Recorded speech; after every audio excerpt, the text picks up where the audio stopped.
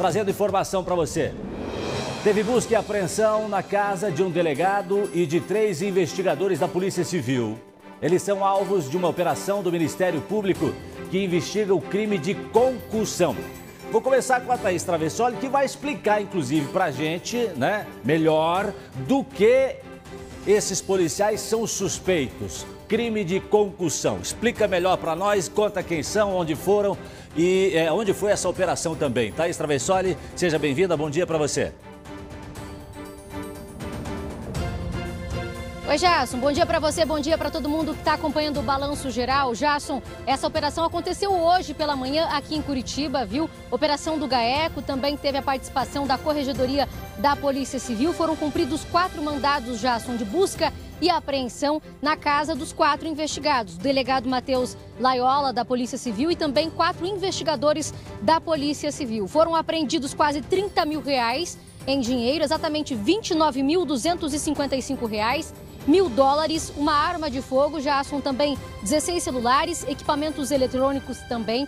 A investigação envolve, como eu disse, então, o nome do delegado Matheus Laiola e também de três investigadores. Dois deles já estão aposentados e outro investigador já não trabalha mais na delegacia do meio ambiente. Jason, o GAECO apura o quê? O crime de concussão quando o servidor usa o cargo para exigir vantagem indevida. A suspeita é de algo que teria acontecido em fevereiro de 2019, já. Segundo o GAECO, eles são investigados por conta de algo que teria acontecido com o dono de um posto de combustíveis aqui de Curitiba. Eles teriam cobrado o valor para que uma investigação, para que uma fiscalização, ou melhor, não acontecesse nesse posto de combustíveis. Um funcionário do posto teria sido levado até a delegacia do meio ambiente e teria ficado lá pelo tempo de seis horas e teriam exigido o valor de 50 mil reais para o dono do posto para que liberassem esse funcionário. Valor que depois teria sido diminuído para 10 mil reais e esse valor teria sido pago pelo dono do posto para então liberar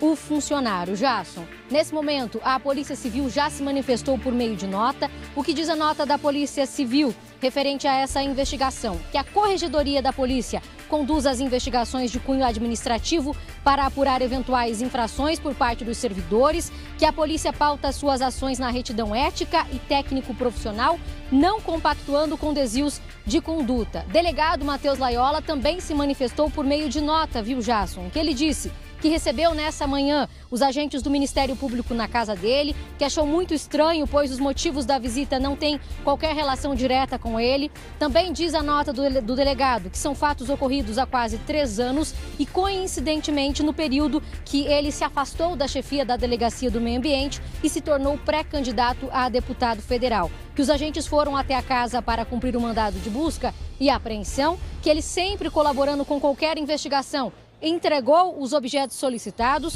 Também reforça o delegado aqui nessa nota que está sereno e confia plenamente na justiça. No entanto, não irão ficar calados diante de tal denúncia que partiu de pessoas maldosas e que nada fizeram pelo bem da comunidade. Encerra a nota o delegado Matheus Laiola, Jasson dizendo que agradece o apoio de todos e que segue ainda mais forte no objetivo de servir e compartilhar boas ações. Jasson, volto contigo aí no estúdio. Nesse momento eu estou sem retorno aqui, já vou restabelecer para a gente continuar conversando. Jasson. Ok, Thaís. Obrigado pelas primeiras informações.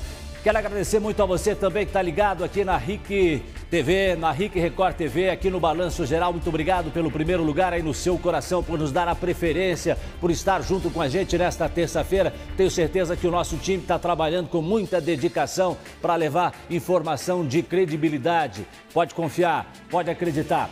Gente, o que, que a Thaís trouxe aí nessa informação? Vamos dar um resumo da história, né? É o trabalho do GAECO do Ministério Público fazendo uma investigação né, é, de concussão. O que, que é isso? Esses policiais, eles são suspeitos de terem é, é, pedido dinheiro para não investigar, para não fiscalizar um posto de combustível. Pelo menos é o que está à frente dessa investigação. Teriam outros casos, mas seria esse o caso específico. O que, que a gente trata nesse momento? É o trabalho do GAECO, do Ministério Público. E as investigações têm que prosseguirem, né, doutora Márcia? E tem que se chegar aí. A doutora já, já se manifestou, inclusive os outros policiais também devem se manifestar, a própria Polícia Civil e o GAECO fazendo o trabalho dele. É, no momento em que se abre uma investigação criminal, ao mesmo tempo se abre um processo administrativo.